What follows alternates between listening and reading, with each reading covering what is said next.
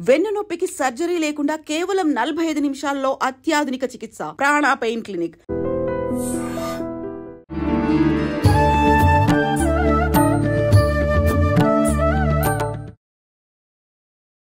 నమస్కారం.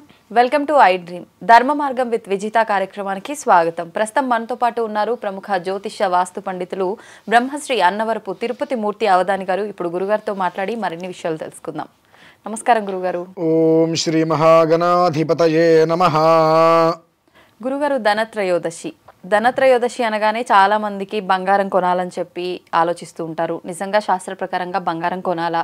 అసలు ఆ రోజు ఆచరించాల్సిన విధి విధానాలు ఏంటి తెలియజేయండి అది ధనత్రయోదశి అనే మాట కన్నా పుష్కల. త్రయోదశి పుష్కల ఎందుకని గురుగారు అలా? పుష్కలము అని అంటే పూర్తిగా ఉండటం. అంటే ఎప్పుడూ కూడా పుష్కలంగా నిండుగా ఉంది అంటారు చూడండి.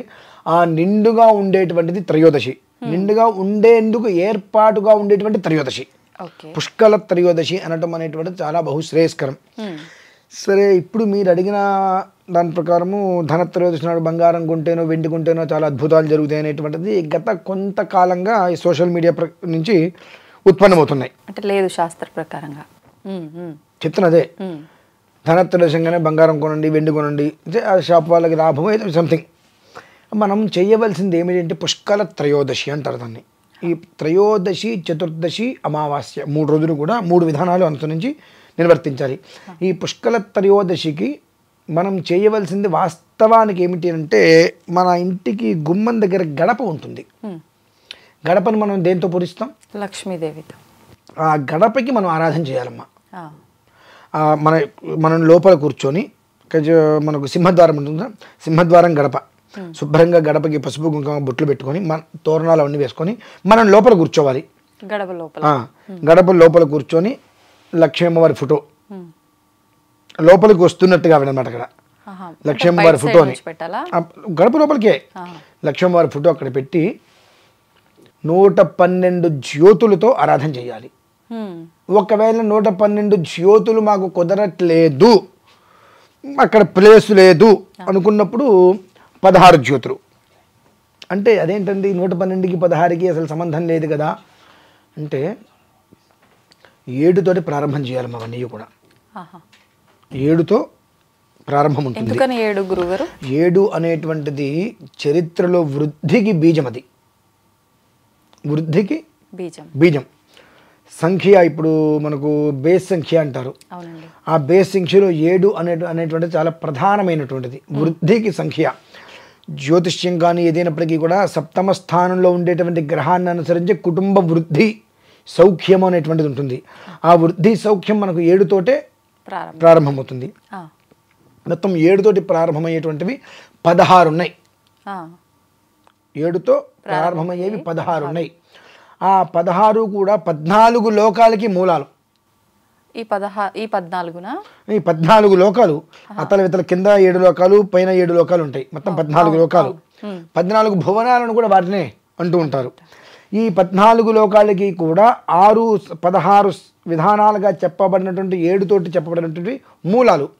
ఆ పదహారు మన ఇంట్లో మన కుటుంబంలో మన వంశం నుండి ఎప్పుడు కూడా ఉండవలెను.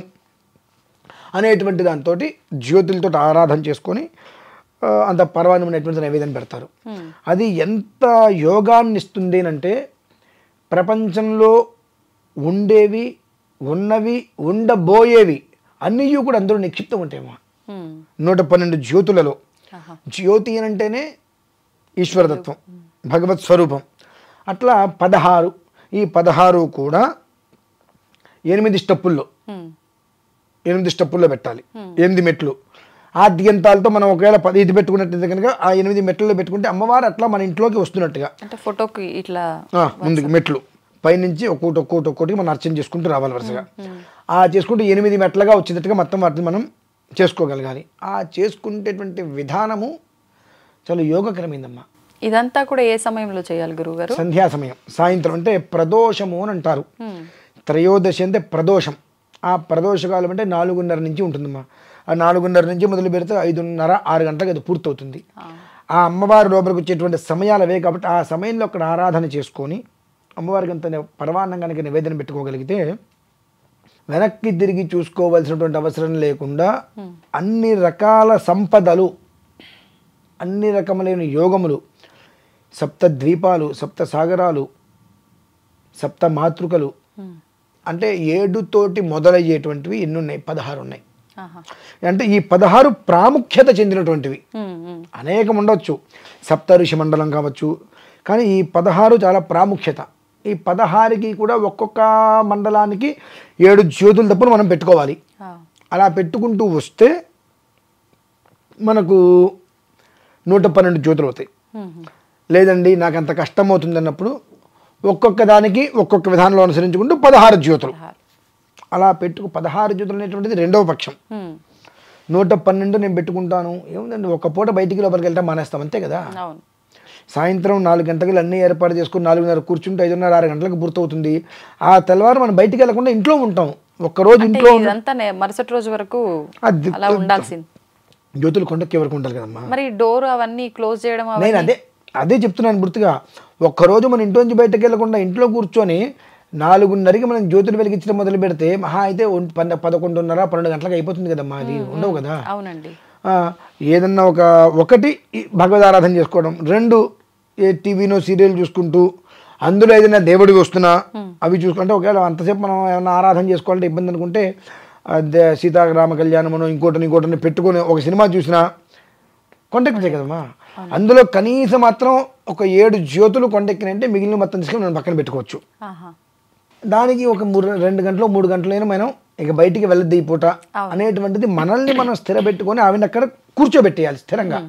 బంధనం చేసినట్టుగా ఆవిడ అక్కడ స్థిరంగా కూర్చోబెట్టగలిగితే ఆవిడ నుంచి మనం తీసుకోగలిగింది ఏంటి అని మనం తీసుకోగలుగుతాం. ఆవిడ మనకి ఇవ్వగలిగింది ఇవ్వగలుగుతుంది. అంతేగాని నేను చేయాల్సింది చేసేసాను పూజ అయిపోయింది కాబట్టి దీపారాధన ఇంత గుట్లో పెట్టేస్తాను నేను రోడ్డు మీదకి బయటికి తిరుగుతానంటే ఉపయోగం. ఆవిడని పిలిచాం. ఆమెను పిలిచినప్పుడు ఆ జ్యోతిలో కనీసం సప్త జ్యోతులు ఒక ఏడు జ్యోతులు కొండెక్కే వరకు కూడా మనం వెయిట్ చేయాలి. ఏడు జ్యోతులు కొండెక్కినాయి ఓకే. అప్పుడు ఆ జ్యోతులు మొత్తం తీసి మనం విడిగా ఎక్కడ పెట్టేసుకొని ఆ ఫోటో ఇంట్లో పెట్టేసుకొని శుద్ధి చేసుకోవాలి ఇప్పుడు ఈ దీపారాధన అంతా కూడా అంటే ఏ నూనెతో చేయాల్సి ఉంటుంది? ఒకటి ఆవు నెయ్యి రెండు నువ్వుల నూనె. రెండిట్లో ఏదో ఒకటి. ఇందుకు మూడోది ఏదో వద్దు మనకు. ఆవు నెయ్యి లేక నువ్వుల నూనె. అది ఒక అద్భుతమైనటువంటి యోగం అమ్మ సామాన్యమైనటువంటి యోగం అయితే కాదు ఈశ్వరుడి యొక్క అనుగ్రహం ఉన్నట్లయితే నేను నా కుటుంబంలో నా ఇంట్లో ఈ యొక్క ప్రోగ్రామ్ చేసి ఆ వీడియోని అందరికీ కూడా చూపించాలనే ఉద్దేశంలో కూడా ఆలోచన చేస్తున్నాను ఇవాళ రేపు ఏదైనా చేద్దాము. అంటే తెలియాలి కదా. నేను చెప్పేస్తాను. వాళ్ళకి అర్థం అవ్వచ్చు అర్థం అవ్వకపోవచ్చు ఆ. బట్ వాళ్ళు ఒకసారి చూస్తే ఆహా ఈ విధానం ఇలా ఉంది అని వాళ్ళు కూడా చేసుకొని ఆ ఆనందాన్ని వాళ్ళు పొందాలి అని ఒక ఉద్దేశంలో ప్రతి మనిషి ఎంత కష్టపడ్డా దీనికోసమే కదమ్మా. జానుడి కడుపు కోసం ఐదు వేల నోట్లోకి వెళ్ళడం కోసం నానా తాపత్రయాలు పడుతూ ఉంటారు. ఆ తాపత్రయాలు పడి సంపాదించాలి సంపాదించాలని ఒక ఉద్దేశంతో సమయానికి తిండి తినలేక ఆ సమయం దాటిపోతూ అనారోగ్యాలు వచ్చి గ్యాస్ ప్రాబ్లం అని చెప్పి రకరకాలు వచ్చి ఆ తర్వాత డబ్బు సంపాదించుకుని అమ్మయ్య అనుకునే టయానికి తినే యోగ్యత లేకుండా అనారోగ్యాల వల్ల తినడానికి కూడా ముందేమో సంపాదించుకోవాలని చెప్పి తినట్లా. సంపాదన మొత్తం వచ్చేసింది అన్నప్పుడు అనారోగ్య రీతి తినలేకపోతున్నారు. ఇక వీళ్ళు దేనికి ఇంకా? బ్రతకడం అనవసరం. అంటే అలా తాపత్రయపడే వారందరికీ కూడా అమ్మవారి యొక్క అనుగ్రహంతో నేనున్నా. నారు పోసినవాడు నీరు పోస్తాడు. అన్నట్టుగా నేనున్నా నీకు నీకేం పర్లా నువ్వు కడుపు నిండా నీ తయానుసారం నువ్వు భోజనం చేయి. మిగిలిన మొత్తం నేను చూసుకుంటాను చెప్పి అమ్మవారి ఇంట్లోకి వచ్చి కూర్చున్నటువంటి అద్భుతమైన యోగమైన విధానం ఏమిటంటే పుష్కల త్రయోదశి ప్రదోషం. ఆ రోజునాడు చేసే ఆరాధన అమ్మ చాలా విశేషంగా ఉంటుంది. ప్రతి మనిషి జీవితానికి కూడా ఉద్ధరింపజేస్తుంది. అది ఇది ఒక్క కార్యక్రమం సరిపోతుందా? త్రయోదశి రోజు నాడు ఇది ఒక్కటే కార్యక్రమం సరిపోతుందమ్మా అంటే అది చేయటానికే ఈ పన్ నూట పన్నెండు కుందులు తెచ్చుకొని అందులో వాటిని శుభ్రంగా మట్టివి తెచ్చుకుంటే కడుక్కోవాలి. ప్రారంభం చేయాలి దీనికి సంబంధించిన మట్టివి తెచ్చుకుంటే కడుక్కోవాలి. ఎత్తడి తెచ్చుకుంటే ఈ చిన్న చిన్న ఎత్తడి తెచ్చుకున్నా అందులో నూనె పోసుకుని ఒత్తి పెట్టుకుని అవన్నీ పెట్టుకోవాలి. అమ్మవారి ఫోటో పెట్టుకోవాలి. గణప శుభ్రంగా ముగ్గ పసుపు రాసి బొట్లు పెట్టి ముగ్గేసుకోవాలి. మామిడి తోరణాలు కట్టుకోవాలి. దొరికితే రెండు అరటి మండలు తెచ్చుకొని పెట్టుకోవాలి. ఇవన్నీ చేయడానికి ఒక రెండు మూడు గంటలు పోతుంది. మళ్ళీ ప్రోగ్రామ్ మొదలు పెట్టిన తర్వాత రెండు మూడు గంటలు అక్కడికి అది చేయగలిగితే పూజ దగ్గర కూర్చొని అంటే ఏ మంత్రం ఏ నామం? ఆ జ్యోతులు మొత్తం అంతా నూట పన్నెండు వెలిగించిన తర్వాత. అమ్మవారిని మీకు లలిత సహస్రం వచ్చుగా? లలిత సహస్రం పారాయణ చేయండి. లక్ష్మీ అష్టోత్తరం వచ్చుగా? లక్ష్మీ అష్టోత్తరంతో ఆరాధన చేసుకోండి. లక్ష్మీ సహస్రనామం వచ్చుగా? విష్ణు సహస్రనామం వచ్చగా? అంటే ఏదైనా ఒక- ఒక మంత్రం ఒక శ్లోకం. ఆ దీపాల మొత్తం వెలిగించేసి కుంకాలు పెట్టిన తర్వాత అమ్మ నువ్వు ఆవాహన రా నా ఇంట్లోకి? అని చెప్పి ఆవిడ నడుస్తూ వస్తూ ఉంటారు కాబట్టి వస్తున్నంతసేపు కూడా ప- పచ్చకర్పూరంతో ఇల్లంతా సువాసన వచ్చేటట్టుగా పెట్టుకొని విష్ణు సహస్రనామం లేదా లక్ష్మీ అష్టోత్తరము లక్ష్మీ అష్టోత్తర శతనామ స్తోత్రము లలిత సహస్రనామ స్తోత్రము ఆ పారాయణ చేసి అమ్మవారిని సంతుష్టురాలని చేసి మనం నివేదన పెట్టడం క్షీరాన్నం. అది ప్రధానమమ్మ అక్కడ. ఓకే. అంటే మేమైతే కాస్త ధ్యాన వాహనాది అర్- అర్చనలు ఆరా- ఆరాధనలు చేసుకుంటాం కాబట్టి వేరే విషయం. అవన్నీ మొత్తం షోడశ విధిగా అంటే పదహారు రకాల అర్చనలతో చేయడం షోడశోపచార పూజ లేదంటే చతుషష్ఠోపచార పూజ అనేటువంటిది అన్ని రకాల అందరికీ కష్టమవుతుంది కనుక. మొత్తం జ్యోతులు వెలిగించి దీపాలు పెట్టేసేసి అమ్మ నిన్ను నా ఇంట్లోకి నేను మనస్ఫూర్తిగా ఆరాధన చేస్తున్నా ఆవాహ ఆవాహన చేసుకుంటున్నా. ఇంట్లోకి వచ్చి స్థిరంగా ఉండు తల్లి. నాకు వచ్చినటువంటి శ్లోకాలు నేను పారాయణ చేస్తున్నా. అని లలిత సహస్రనామం రాలేదు. పెట్టుకొని వినండి. మళ్ళీ ఇలా పెట్టుకోండి చక్కగా. ఎంఎస్ సుబ్బలక్ష్మి గారు ఎవరో ఉన్నాయి. పెట్టుకొని చక్కగా అమ్మవారిని అలా చూస్తూ ఫోటో కళ్ళు మూసుకోవద్దు దయచేసి. నిఠారుగా కూర్చొని ఇట్లా స్ట్రైట్గా ఓకే. అమ్మవారి ఫోటో పెట్టుంటాం కదా. ఆ భ్రూమధ్యానికి అమ్మవారికి? ఉమ్, భ్రూమధ్యం పాదాలు. హృదయం. పాదాలు హృదయం ఇక్కడ భ్రూమధ్యం ఇది. అలా అమ్మవారిని చూసుకుంటూ ప్రశాంతంగా ఉండండి. ఖచ్చితంగా చెప్తున్నానమ్మా మీరు లలితా సహస్రనామం వింటూ అలా చూడండి. లేదా విష్ణు సహస్రనామాన్ని వింటూ అమ్మవారికి భురువోరు మధ్యం భ్రూమధ్యం అంటారు ఇక్కడికి. రెండు హృదయ స్థానం లేదంటే పాదస్థానం ఆ మూడిట్ల వైపు దృష్టి నిలిపి మీరు చూడండి ఈ నామం పూర్తయ్యేటువంటి లోపు మీకు తెలియకుండా మీ యొక్క వెంట్రుకలు నిక్కపరుచుకుంటే ఒక్కసారిగా. అంటే ఒక తెలియని ఒక ఆనందం.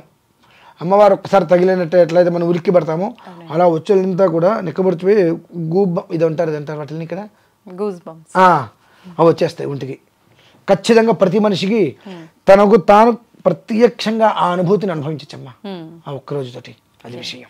మొత్తానికి లక్ష్మీ అమ్మవారి పూజ ఇంత ఘనంగా చేసుకు అంటే ఏ- ఏ ఆడంబరం లేకుండా ఇంత సింపుల్గా ఖర్చు లేకుండా చేసుకునే పూజని చాలా చక్కగా వివరించారు గురుగారు ధన్యవాదాలు. పరమేశ్వర అర్పణం